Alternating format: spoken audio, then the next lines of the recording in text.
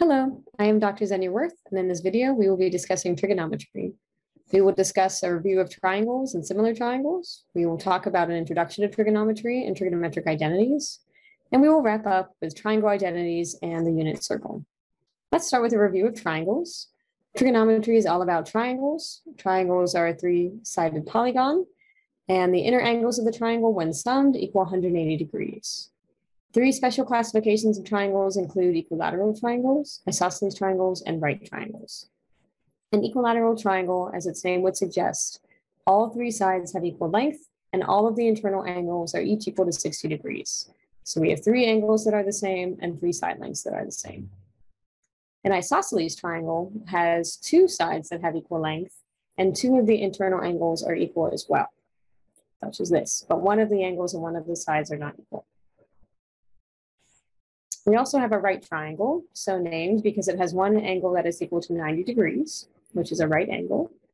The longest side of this triangle is called the hypotenuse. The two other sides are called the adjacent and opposite sides, based on their position relative to a defined angle. So if I define this angle here as theta, the side next to that angle is the adjacent, and the side opposite that angle is the opposite. We use similar triangles a lot in engineering to estimate the length of an unknown side. They're used very often because as long as they have the same shape and the same internal corresponding angles, you can use similar triangles to find a proportional length that you don't know. And similar triangles tend to have the following properties. They have the same shape, but the side lengths are different. So in this case, this triangle A, B, and C has smaller sides than this triangle D, E, and F, but the shapes of them are the same. These are obviously not drawn perfectly to scale. The important thing about similar triangles is that their corresponding angles have to be equal. So this angle between A and C has to be the same angle as between D and F. The right angle has to be the same and in the same position. And the angle between C and B here has to be the same as the angle between E and F.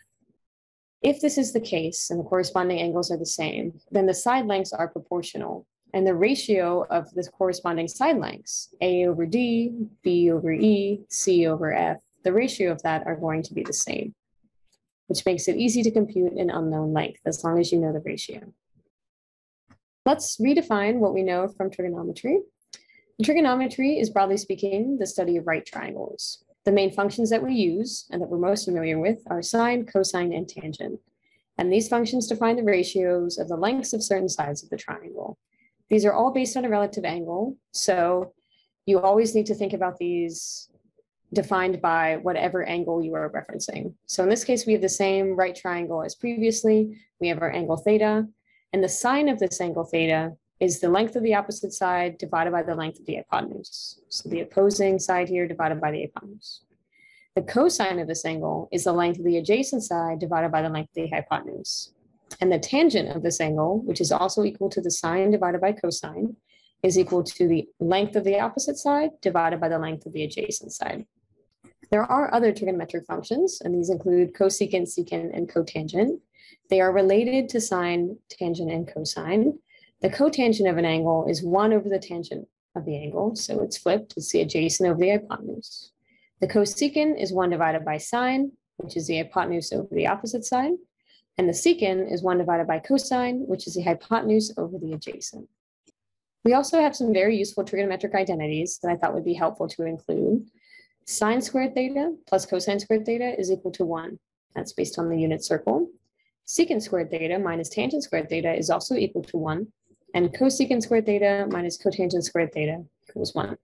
We also have the double angle identities. Sine of 2 theta is equal to 2 sine theta cosine theta, or this expression here for tangent.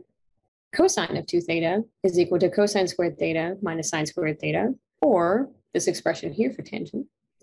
And the tangent of 2 theta is equal to 2 tangent of theta over 1 minus tangent squared of theta. If we're doing any sort of simplifying or integration, differentiation, any sort of manipulation with trigonometric identities, sometimes these can come in very useful to simplify the problem as needed. We also have the negative angles here. Sine of a negative angle, you can move the negative sign out front. Same thing for cosine, same, same thing for tangent.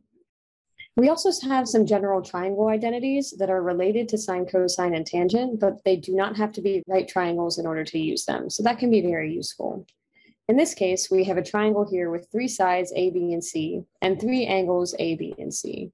It is important to note that the angle has to be matched with the opposite side. So when you do the notation for triangle identities, this side with a length little a matches the opposite angle, capital A. This side length B has to be opposite the angle B. And that always has to work in order to use these identities. The law of sines is here. Sine of the angle over the side, the opposite side length is the same ratio for all three sides. Sine of angle B over the opposite side length B has the same value, the ratio there has the same value of sine of C divided by C. The law of cosines is useful if you only have one angle measurement and you need to find a side length that you don't know.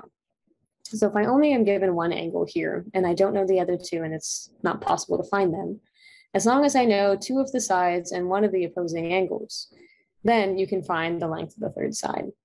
And the law of tangents allows me to relate the angle measurements through tangent with the corresponding side lengths.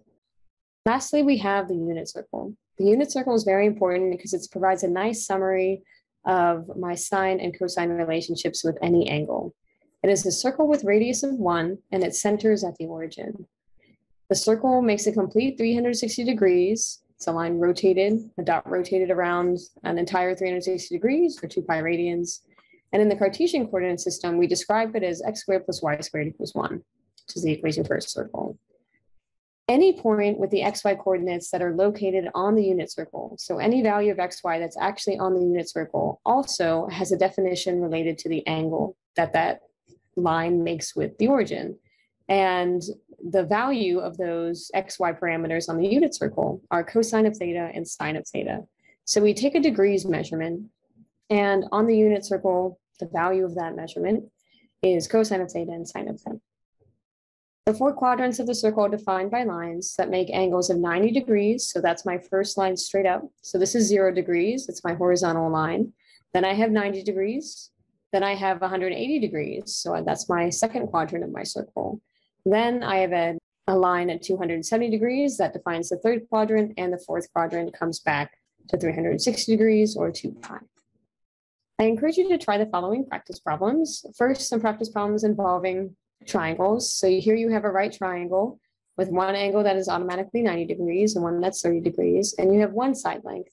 So I encourage you to try to find the unknown angles and the unknown side lengths using sine, cosine, and tangent relationships, and then prove the validity of what you just did using the triangle identities. So try to do the same thing, even though you know all the answers now, try to plug them in and see that you uh, can prove that those triangle identities are hold true based on your filled in triangle. Also, I encourage you to fill out the unit circle. Uh, this is a great reference to have and some great numbers to have in the back of your mind. So you can quickly find the corresponding angle and cosine sine values. But you have here all of the common degrees on the unit circle, 30 degrees, 45, 60, here's 90, 120, 135, 150, here's 180, 210, 225, 240, here's 270 degrees or 3 pi over 2 radians, and then 300, 315, 330, and then 360 degrees. And at each one of those points, cosine of 30 degrees and sine of 30 degrees are your xy coordinates of the unit circle. So I encourage you to actually fill out this circle and write the cosine of theta and sine of theta values for each one of these. See if you can find a pattern between them. You'll see a pattern emerge pretty quickly, and this is just a very useful reference to have. I will hope you'll find this video useful in your class.